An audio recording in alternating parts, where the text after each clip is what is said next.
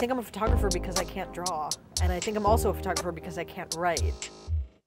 In college, I was a writing and a photography major, and at my sophomore review for writing, my poetry literature teacher told me I didn't have the love of language that was necessary to be a poet. I think it all worked out because I've realized that like I'm making, you know, a kind of a visual poetry. There's rhyming and there's metaphors and blah, blah, blah. Governor's Island was the biggest redevelopment project in the city until September 11th happened. The idea was that it's going to be a park, it's going to be movies, it's going to be all kinds of great stuff for people. The Economic Development Corporation, they got the attention of the Public Art Fund and asked them to do some project to kind of gain interest and then also to document it before everything gets demolished.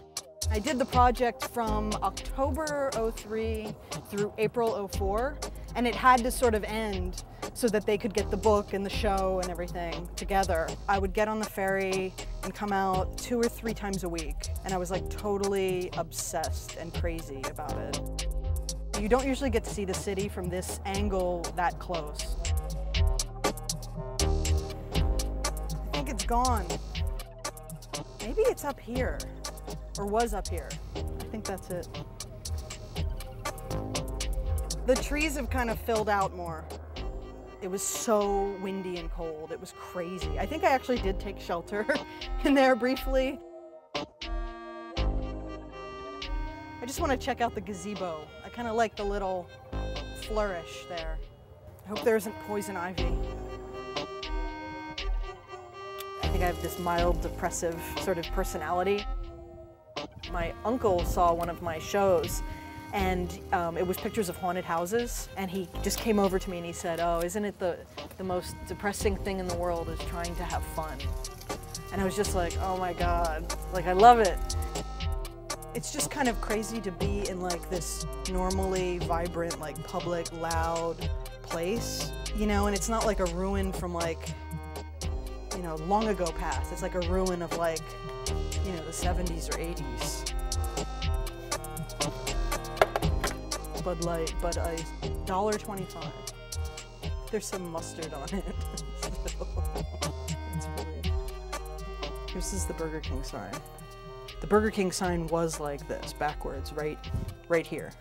Yeah, so I took the picture from like right here. I was definitely attracted to these sorts of like entertainment sort of venues in other parts of my work. So when I got here to photograph, I was so excited about these. But then, you know, it turns out the school is where I made one of the, a couple of the best pictures, and it had nothing to do with having fun, really. I need to be alone to really concentrate. Maybe it's even kind of like being a kid where, you know, you're alone in your backyard digging around and like finding things, or you find your little spot. Nurse's office. Guidance counselor. This is it? This doesn't seem right. I don't think this is it. No, it is. I'm just taking this picture for old time's sake. But there's also a um, spider web on it, which I kind of like. Wow.